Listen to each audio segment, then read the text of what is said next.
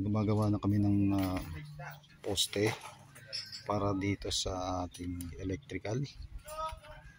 Ito bali ang pinuporma na namin ang poste sa framing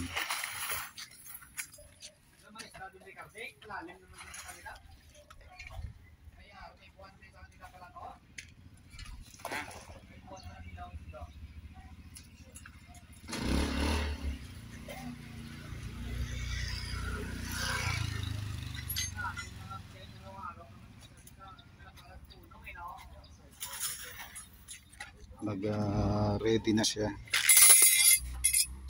Ayan, pumorma na siya. Ayan, itong pinaka suporta niya dito sa framing